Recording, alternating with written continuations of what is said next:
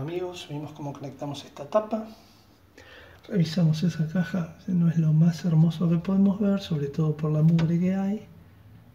Pero vemos que está todo conectado, los cablecitos que salen hacia acá. Se meten por el cielo raso, se ve que esto fue una modificación de último momento. Vamos a agregar el de tierra para que quede para zapatilla. Pusimos el cable este que va a ir a la zapatilla después. Lo conectamos, ven que está todo el cable desnudo pusimos la lamparita esta, vamos a ver si funciona, recordemos, lo más importante de este video creo que es haberles podido este, aconsejar que separen el circuito que usan para iluminarse, para una herramienta de que están trabajando, así pueden cortarlo, en este caso como había un solo circuito, pusimos una termomagnética solo para la zapatilla y ahí vamos que encendió. Si encendió cuando toquemos interruptor este, tiene que apagar. Perfecto. Acá tenemos tensión que va a ir a zapatilla. Entonces esas dos cosas. Una es poner el disyuntor diferencial para trabajar más tranquilo. Y la segunda es un circuito aparte para trabajar si no lo tenemos en el tablero ¿no? y lo podemos independizar. Así que nuevamente vamos a cortar. Nos quedamos con la luz que es alimentada por esta zapatilla, igual que el cargador del teléfono y vamos a seguir por acá tranquilos de que no hay tensión. Ese es el mejor consejo, de hecho es una de las reglas de oro, trabajar sin tensión. Una antigua tapa muy derruida eh, de Brina, creo que es, creo que es Brina. Miren cómo conectaban, ¿no? Acá, recordemos que está todo cortado, entonces podemos, pasaban a través de las de los bornes.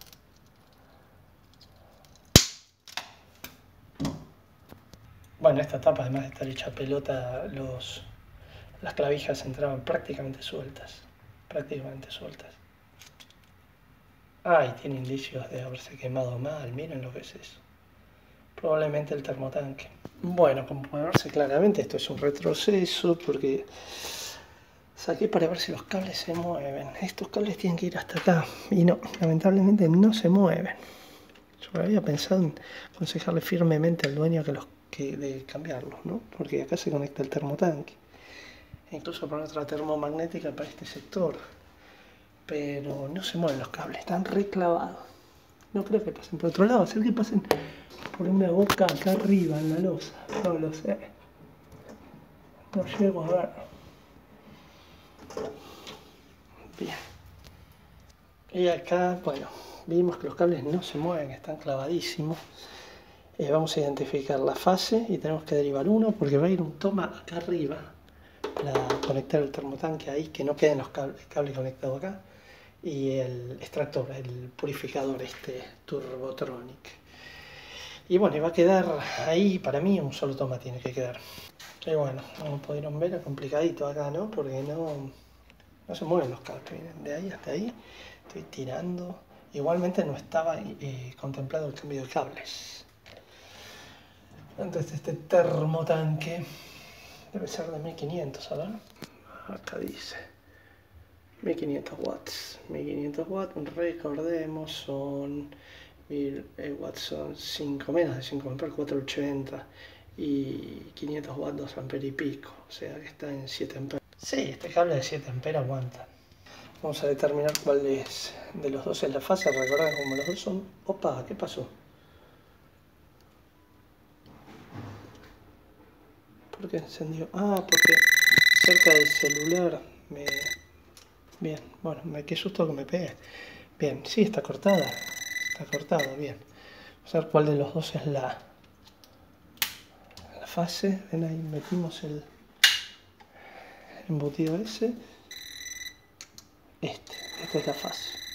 Y lo vamos a marcar. Bueno, en este caso marcamos el neutro, porque la cinta es mejor que la roja que tengo, se despega muy fácil. Marcamos el neutro. Este es el de nuevo, sabemos que es el de tierra y el otro es la fase.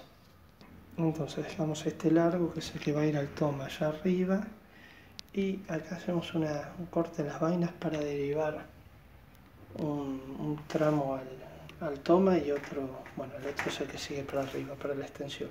Bueno, luego de derivarnos sin bastante trabajo el alambre al cable, hacemos este empalme lo mejor posible y lo aislamos bien, como ya les vengo diciendo. Y ya que yo estoy con el tema electricidad y después el dueño para limpiar no va a limpiar sacando la tapa, aprovechamos y limpiamos todo el borde de la caja, ¿no?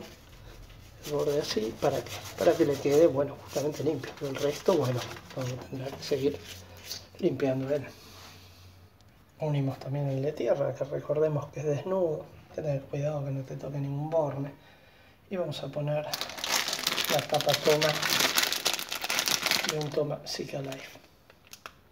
Bien, vamos conectando los hornes de esta tapa de un toma Zika Life. Bueno, una vez conectados, este cable va a ir a este módulo, también de la marca Zika, pero de superficie. En esa cajita, esto entra acá.